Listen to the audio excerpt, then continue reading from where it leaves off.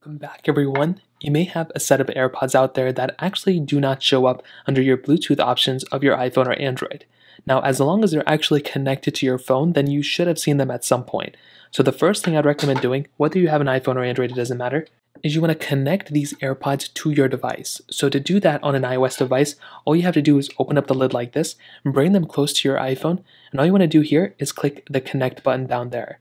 So it'll tell you to hold the button. So what you want to do is get these into pairing mode. So hold the button on the back of these AirPods with the case and lid open, get this white light, and you should be good to go. So now this will go ahead and allow you to go through the setup. On Android, it's a little bit different, but as long as you can get through that setup panel, then you should be okay.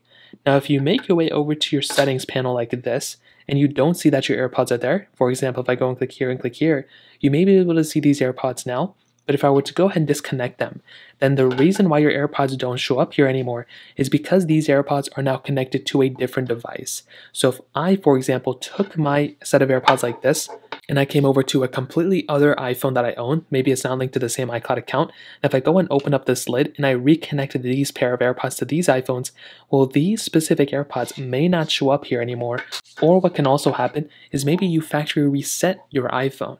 If you factory reset your iPhone or Android, well, those Bluetooth connections are no longer going to be there. So if you've ever done something like this where you click on the eye right here, you scroll down and you click forget this device, well, that may be another reason why your specific phone is not necessarily showing the specific, you know, the name of your AirPods is because you forgot this device as well.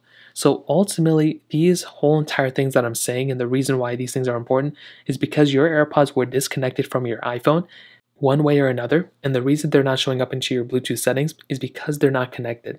So go ahead, grab your AirPods, hold down the button on the back right here until you get into this white light that starts blinking, and you want to reconnect your pair of AirPods to your iPhone or Android.